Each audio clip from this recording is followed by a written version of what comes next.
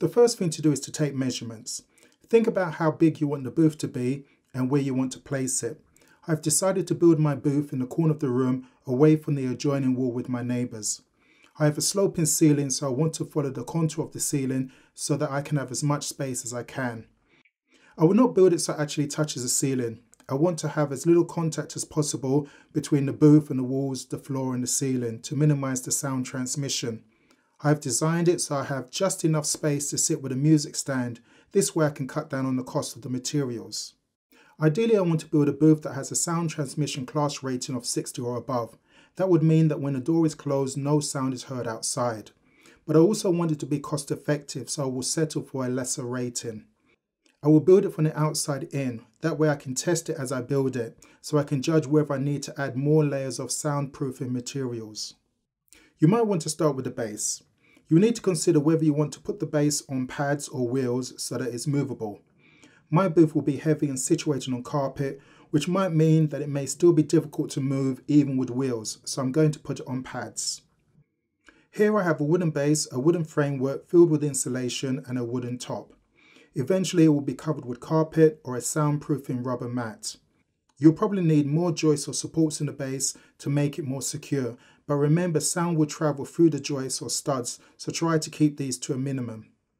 Wood is not the best material for soundproofing, but it's strong and the base needs to support my weight. You might need to line the base with extra materials depending on how soundproof you want the booth to be. I will discuss materials later. You will need to build a framework.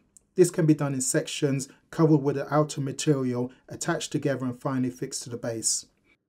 When designing the frame, you want to think about whether you want something that can be easily disassembled and rebuilt or to create something more permanent. I want to build something permanent and cost effective which will simplify the design. Otherwise, I would have to design smaller panels that slot into each other. Once the framework is built, you could opt for a cheaper version of an isolation booth by covering it with acoustic blankets or furniture removal blankets as a cheaper option. For more soundproofing, there is a choice of materials that could be used on the outside and inside of the framework. You could use OSB boards, MDF, plywood, or plasterboard or drywall. Of all these, plasterboard or drywall will be the best at soundproofing due to its mass. A wooden stud with a 16mm or 5 8 drywall on both sides of a stud will give an STC rating of about 35 with no insulation and an STC rating of 38 with insulation. If you have two plasterboards or drywalls on both sides of the studs with insulation, this will increase the STC rating to 45. Having an air gap between the drywalls will increase the STC rating further. This can be achieved by using green glue or some alternative. Having staggered studs will also increase the STC rating. For insulation, fiberglass seems to be a cheaper alternative to products like Rockwool and may be more cost effective overall. Make sure you check the safety aspects of the insulation you are going to use. In this design, the insulation is fully sealed within the framework, but you might need to further seal it with a plastic sheet so no fibers get in the air.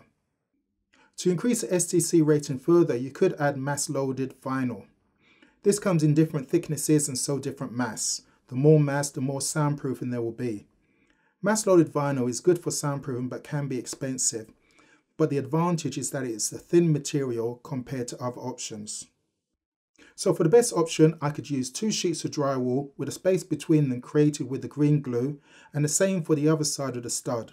I could line them with the mass loaded vinyl and also put insulation inside it. But this might be overdoing it just a tad. But whatever you do for the walls, we'd have to do something similar for the base so that the sound does not escape through the base.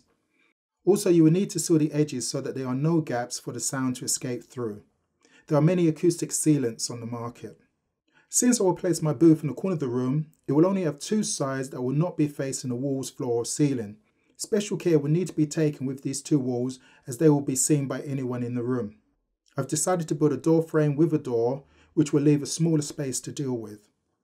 Now what would be nice is to have glass or thick polycarbonate like that used for drumming booths. The advantage would be that there would be a lot of natural light the disadvantage is that it will let out sound more than if the wall was constructed in a similar manner to the other walls. I've decided to take the latter option. The last thing to consider is providing ventilation, which I will consider whether it is needed once I've started using the booth. Well, let me know if I made any mistakes in my design or if I've overlooked anything. I will continue to improve my design and hopefully we'll start building it later this year.